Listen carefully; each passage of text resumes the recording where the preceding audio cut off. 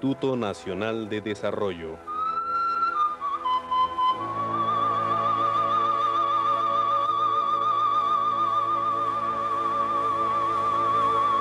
El proyecto Apoyo a la Política de Desarrollo Regional en Selva Alta.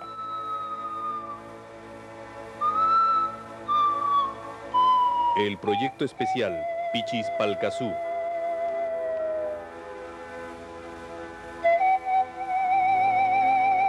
Y la Agencia para el Desarrollo Internacional de los Estados Unidos, con sede en el Perú, presentan.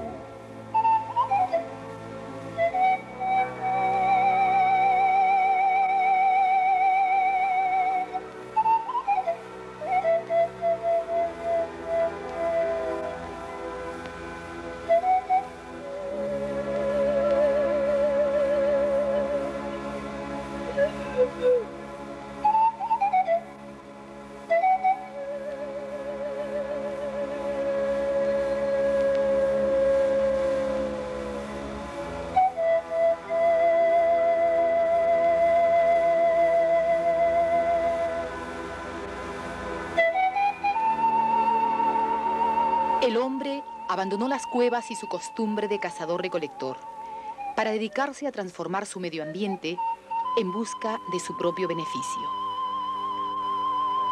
Existen contados lugares en el planeta Tierra en donde el hombre no ha introducido cambios, como cultivos, hidroeléctricas, ciudades y obras públicas. El bosque tropical es uno de los ecosistemas más importantes que ofrece múltiples beneficios a la humanidad. No obstante, está siendo destruido a un ritmo alarmante, como resultado del proceso de un mal llamado desarrollo. En algunos casos, la acción del hombre tiene consecuencias catastróficas.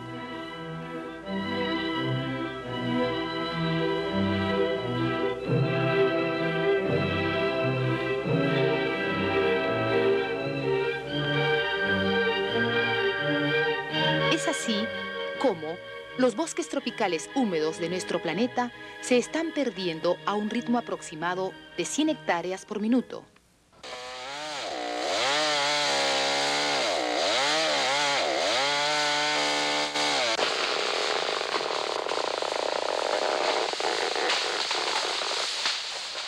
En la selva peruana se han talado ya 8.500.000 hectáreas, con un avance de 350.000 hectáreas por año.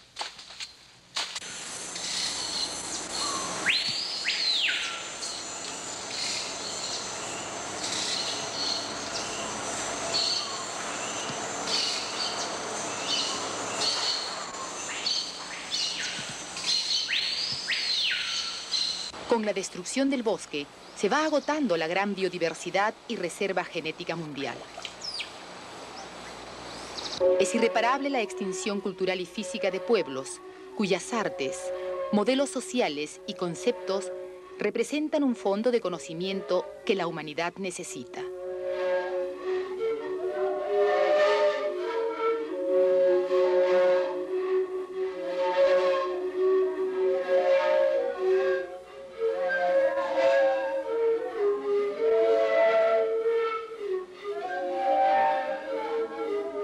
Perú, ubicado entre las latitudes 0 grados norte, 18 grados sur y longitudes 68 grados este y 81 grados oeste. Es el séptimo país del mundo que cuenta con aproximadamente 78 millones de hectáreas de bosques tropicales en la Amazonía, con más de 2.500 especies forestales diferentes y una biodiversidad incalculable y envidiable. Estas tierras se extienden desde los contrafuertes orientales de la cordillera de los Andes hasta el llano amazónico, teniendo estructuras cambiantes que determinan su aptitud de uso.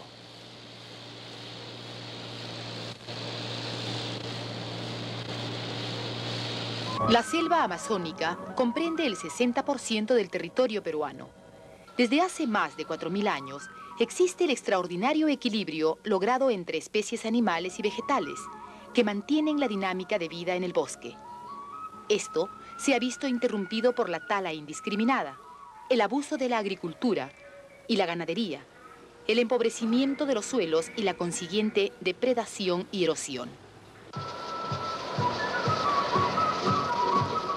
En la selva peruana, la creciente presión demográfica por parte de nuevos colonos fue arrinconando a los nativos, habitantes ancestrales de las selvas, beneficiarios de la riqueza del bosque durante milenios, que supieron mantenerse sin romper el equilibrio, viviendo en armonía con la naturaleza.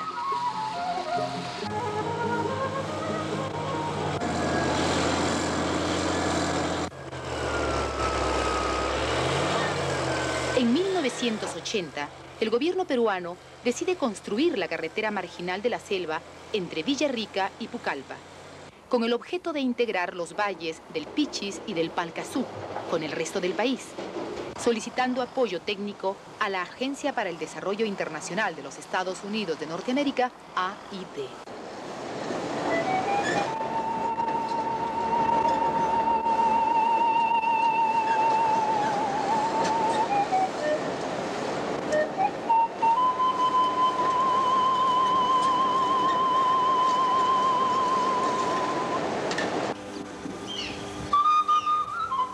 El valle del río Palcazú es un corredor formado por dos cordilleras laterales.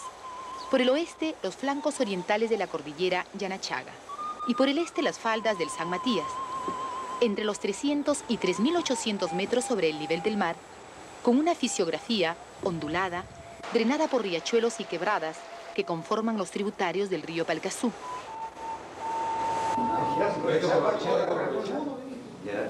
Entre 1980 y 1981 se integró un equipo multidisciplinario de profesionales para realizar estudios sobre los recursos, población asentada, clima, suelos, forestería, cultivos y ganadería establecida, con el fin de delinear un plan integral de desarrollo de profunda inspiración ecológica. En 1982 se inicia el proyecto de manejo de los recursos de la selva central, suscrito entre la Agencia para el Desarrollo Internacional de los Estados Unidos de Norteamérica y el gobierno peruano, priorizando el manejo de bosques naturales, la conservación de las cuencas altas de los ríos y a la biodiversidad en las poblaciones nativas, así como la producción agropecuaria integral y sostenida. En la planificación y ejecución del proyecto, se consideró la capacidad de uso mayor de las tierras y los territorios ancestrales de las comunidades nativas yanechas como las ocupadas por los colonos y se articuló un ordenamiento territorial ambiental que comprende creación de áreas de protección, un parque nacional y un bosque de protección, regularización de la tenencia de la tierra a favor de los usuarios antiguos, nativos y colonos, áreas del Estado y otras de futuros asentamientos.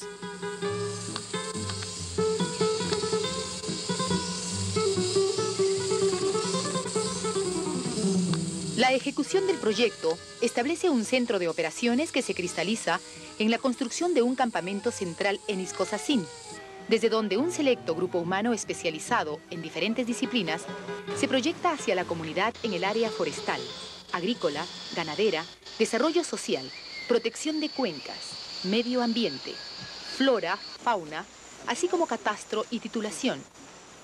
Todos en conjunto hacia un objetivo integral de desarrollo del valle, complementado con los servicios de salud, educación, vivienda, transporte, alimentación y comunicaciones. El que vino arriba a San Cristóbal se trajo semillas, en semillas ya preparadas en Puerto En salud, se ha logrado establecer el sistema organizado de atención hospitalaria y rural, para lo cual se capacitó promotores sanitarios para postas médicas que se ubicaron en Chiringamazú, Chuchurras, Buenos Aires y Puerto Mairo. En educación se apoyó en la infraestructura educativa, construcción de aulas y la creación de un colegio agropecuario, apoyando el dictado de clases teóricas y prácticas, como apreciamos en estas escenas captadas en Puerto Mairo.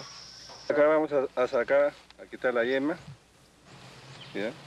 que es de una lima. El método que vamos a realizar el injerto es por invertida, cuidando que la yema esté libre. En vías de comunicación y transporte, se mejoró el aeropuerto de Iscosacín, permitiendo el ingreso de aviones en toda época del año. Paralelamente, se avanzó la construcción de la carretera hasta el río Iscosacín. Por el río, mediante una flota de botes con motor fuera de borda, se estableció una permanente comunicación de los técnicos con todo el valle.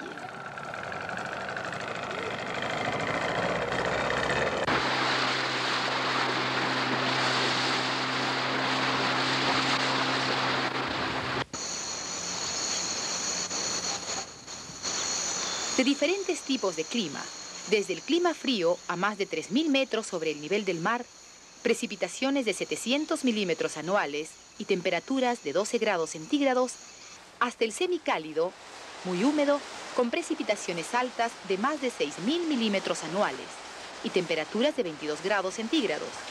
Características que unidas a los suelos poco profundos, cuya riqueza y fertilidad dependen de la existencia del bosque, determinan que la mayor parte de la superficie en el Valle del Palcazú es de vocación forestal. Para el uso sostenido e integral de los bosques naturales, fue necesario desarrollar un nuevo sistema de manejo forestal, al que se le ha denominado de franjas a tala rasa. El manejo sostenido de bosques naturales se fundamenta en los estudios de ecología de bosques húmedos tropicales y de sus mecanismos de regeneración natural, dinámica del crecimiento a través de claros en el bosque e interrelación entre flora y fauna. El secreto de la repoblación del bosque es la caída de los árboles grandes, por acción de los vientos o rayos. Cuando cae un árbol en el bosque, deja un claro o abertura en el techo del bosque. Esto permite que las semillas de los árboles que se encuentran alrededor se depositen en la abertura por acción del viento. Pájaros, murciélagos y otros animales que comen fruta y que son parte fundamental en el ciclo de vida del bosque. Estas semillas germinan por acción de los rayos del sol, que calientan el suelo. Con el paso de algunos años, el claro estará lleno de árboles jóvenes y en 25 o 30 años no se notará dónde existió el claro.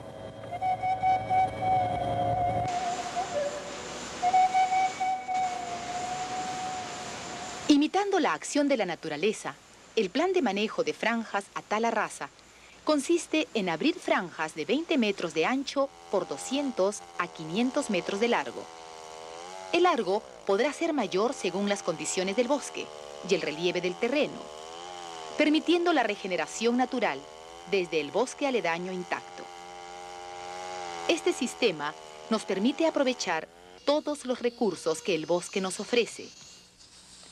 Una vez delimitada la faja, será necesario cortar las lianas y bejucos a los que se les dará uso artesanal o medicinal. Luego se procede a cortar los árboles pequeños, de diámetros menores a 15 centímetros así como a la apertura de una trocha de 2 metros de ancho en forma transversal para evitar la erosión.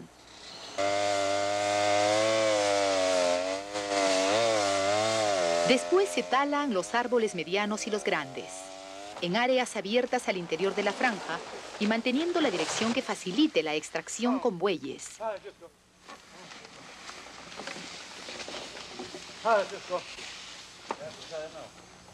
La extracción con animales de tiro para jalar las trozas de la franja, en lugar de maquinaria pesada, permite la conservación del suelo.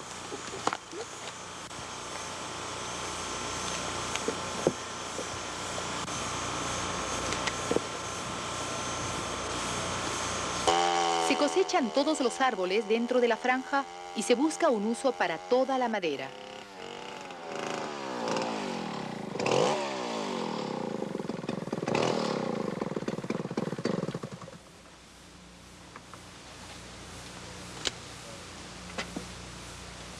Mediante la inyección de fluido químico preservante, se efectúa la producción de postes preservados utilizando especies de diámetro reducido.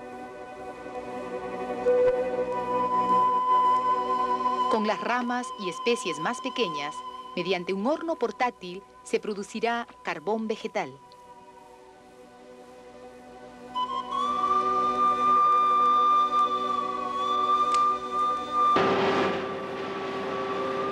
De los árboles de diámetros mayores a 12 pulgadas, mediante la utilización de un aserradero funcional, se logra producir un aproximado de 50.000 pies tablares de madera rolliza,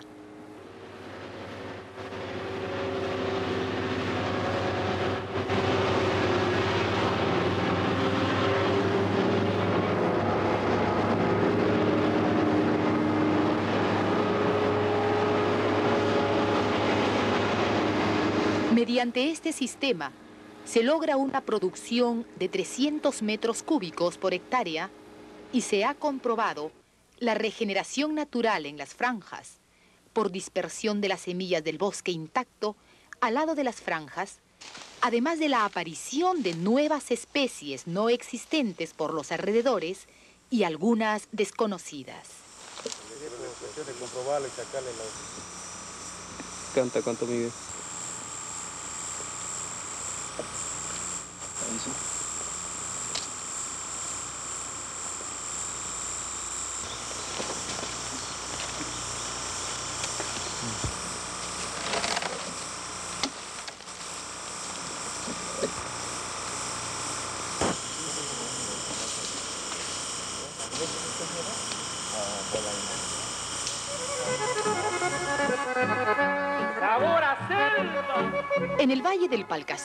Sobre la base de la ganadería vacuna y otras crianzas ya establecidas en las tierras aptas para pasturas, el desarrollo ganadero se orientó a la introducción y adaptación de nuevos pastos y forrajes para mejorar los existentes. Del mismo modo se plantea el mejoramiento de la ganadería bovina para cambiar el sistema de manejo extensivo hacia el intensivo semi-estabulado, que es el más apropiado a las condiciones del valle.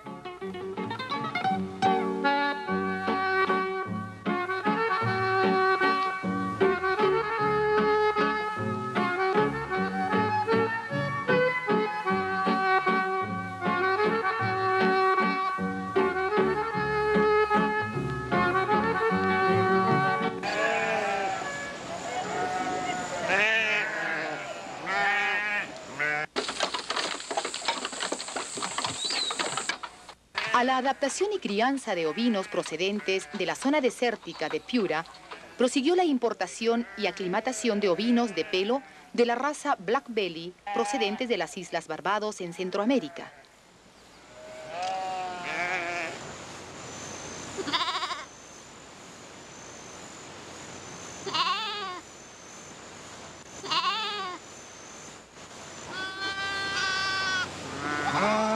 El ovino del Palcazú es un híbrido producto del mejoramiento genético que constituye una alternativa para el productor de la selva. De la cruza del Black Belly con los ovinos piuranos se ha obtenido un ovino adaptado al trópico húmedo de rusticidad, prolificidad, dos o tres crías por parto y poliesticidad, celo mensual y gestación cada nueve meses.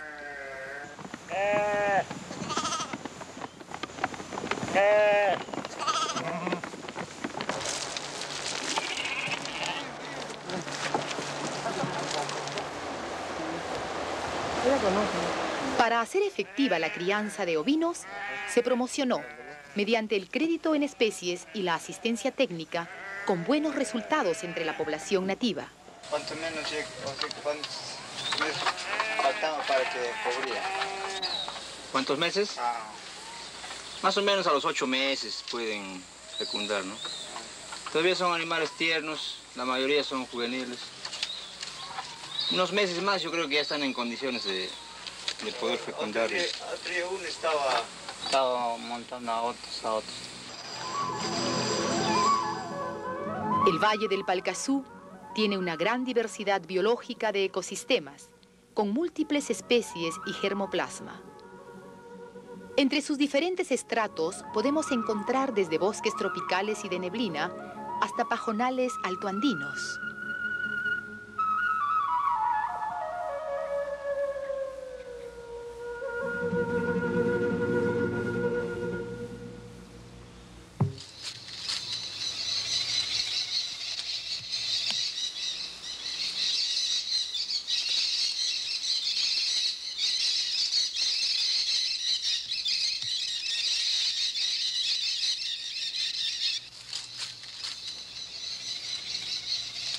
En esta exuberante biodiversidad se han clasificado 56 especies de mamíferos, 452 especies de aves, 30 variedades de peces y 2.584 especies de plantas, varias en peligro de extinción y 30 nuevas especies para la ciencia.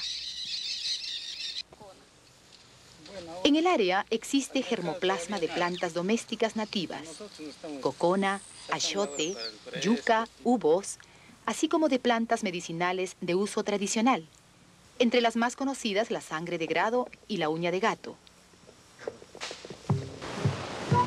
Para asegurar la protección de la diversidad biológica, se estableció el Parque Nacional Yanachaga, Chemillén y el Bosque de Protección San Matías, San Carlos.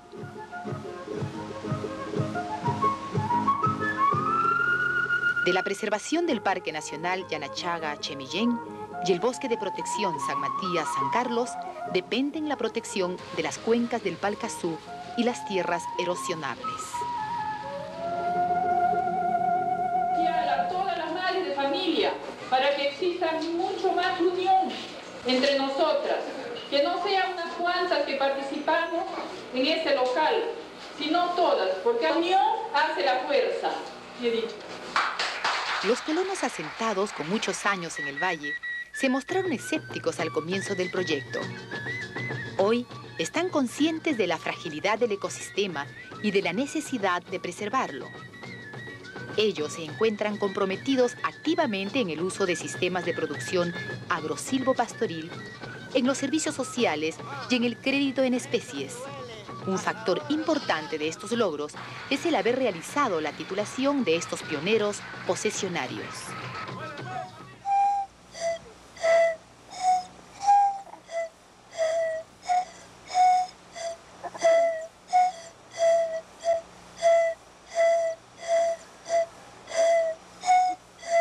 La Reserva Comunal Yanesha es la primera y única en el Perú que garantiza áreas de uso tradicional extractivo de las comunidades nativas, haciendo efectiva la regularización de la tenencia de las tierras para las comunidades nativas.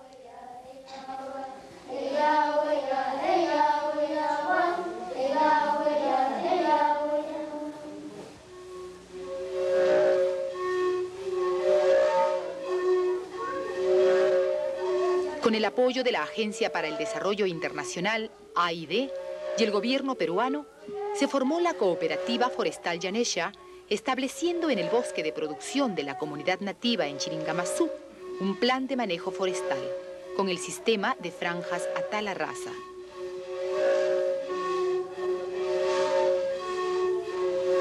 La cooperativa forestal Yanesha cuenta con instalaciones para la transformación integral de los recursos forestales. Para el procesamiento de la madera, posee un complejo industrial conformado por una planta de acerrío, una planta para preservación de maderas redondas para postes, una planta para la fabricación de carbón de leña, taller de mecánica, almacenes y oficinas, para lo cual se capacitó a los integrantes de la cooperativa, inclusive en el sistema de extracción con bueyes. Con el rango 1 y le doy y lo claro. de puntaje mayor. Pero hay que hacer un trabajo lo que es la identificación de ese algo como el sector 1. ¿no? El sector del primer orden, el sector del segundo orden y el sector del río principal. Por eso. En apoyo a la política de desarrollo regional, se creó APODESA, organismo que pertenece al Instituto Nacional de Desarrollo, INADE, Vamos a dar inicio a la inauguración. Apodesa realiza el seguimiento del proyecto de manejo de los recursos de la selva central y de otros proyectos en selva. Como eslabones de una cadena en donde la, la interdependencia es total. El proyecto Apodesa está procesando y analizando la información detallada de los proyectos especiales en selva, proponiendo políticas y estrategias para el desarrollo sostenido de la selva alta. A formas de energía química negociables en la economía de los seres vivos.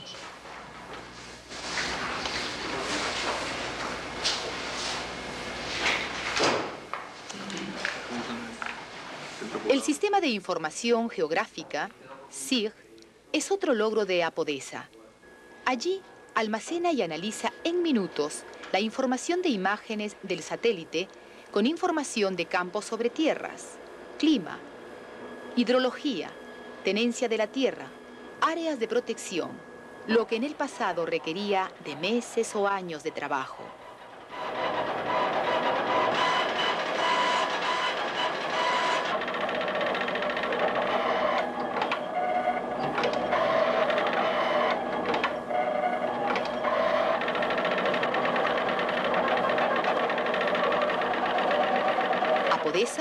Ha logrado desarrollar una metodología de trabajo que permitirá un ordenamiento territorial en cualquier área de la selva, con el objetivo de preparar políticas y estrategias para el desarrollo sostenido.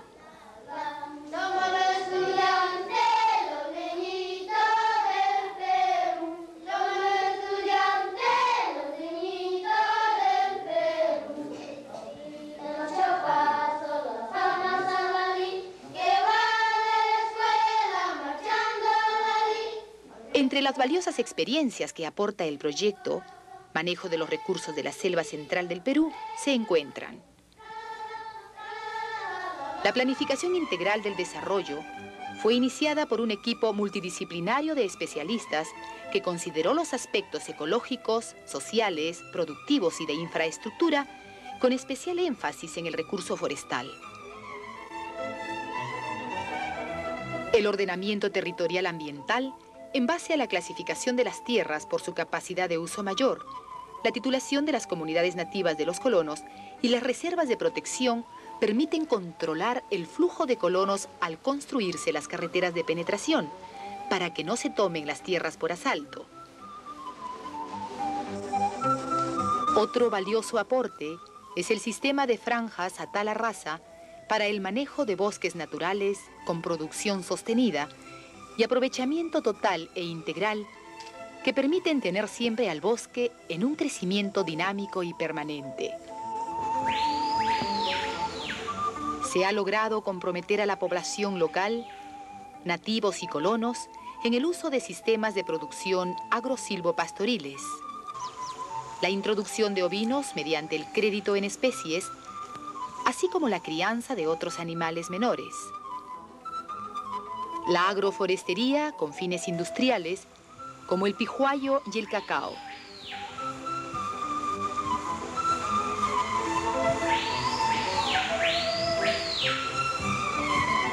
El Valle del Palcazú muestra resultados alentadores en el bienestar del hombre, aprovechando los recursos del bosque en la selva amazónica. Cuando el hombre respeta la naturaleza, y logra insertarse en el ciclo de vida del bosque, puede lograr un desarrollo sostenido por tiempo indefinido.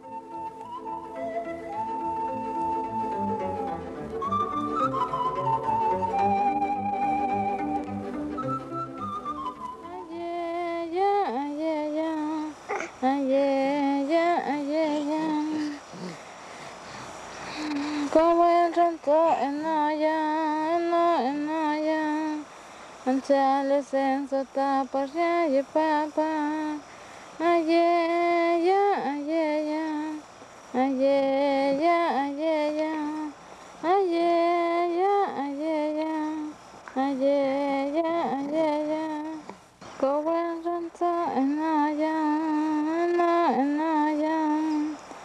Chale senso tapa ye papa. Aye ya aye ya. Aye, ya, aye, ya. Aye, ya, aye, ya. Aye, ya, aye, ya. Como el ranto en aya, no en aya. Anchale senso tapa, y papa. Aye, ya, aye, ya. Aye, ya,